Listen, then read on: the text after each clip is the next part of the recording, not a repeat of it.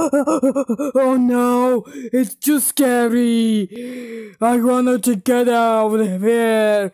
Ah, ah.